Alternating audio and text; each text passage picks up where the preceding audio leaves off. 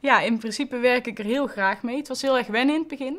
Je hebt een extra handeling tijdens je lessen. Dus als je met een rekenles begint, moet je eerst ander licht aanzetten. En dat is iets wat je niet gewend bent. Maar na een week was het eigenlijk heel gemakkelijk. En uh, zit het zo in je systeem ingebakken dat het heel prettig werkt. Ook voor de kinderen.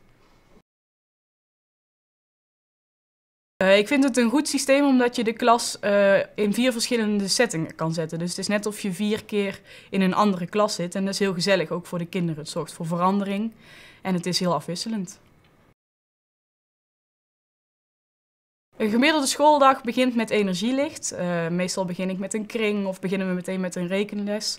En als na een kwartiertje het energie uitgaat en we zijn uh, nog steeds met rekenen bezig, dan ga ik verder op concentratielicht. Kinderen zijn helemaal gewend aan dat het licht dan één keer omwisselt. Uh, na de rekenles gaan we vaak verder met lezen. Met lezen staat het standaardlicht aan. En verderop op de dag zitten we regelmatig met een creatief vak. En tijdens de creatieve vakken staat het sfeerlicht aan. Nou, het energielicht gebruik ik vooral aan het uh, begin van de dag, het eerste kwartier en aan het begin van de middag.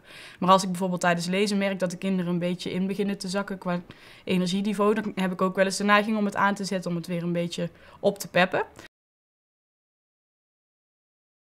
Nou, ik verwacht dat de leerresultaten een stuk beter zullen zijn. Het is natuurlijk logisch als kinderen zich tijdens een toets en tijdens instructielessen beter kunnen concentreren, dat ze dan ook betere resultaten halen.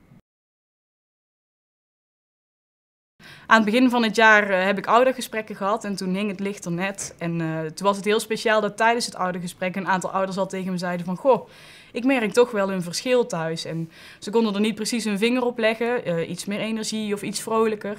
Maar kinderen kwamen wel gezelliger school uit.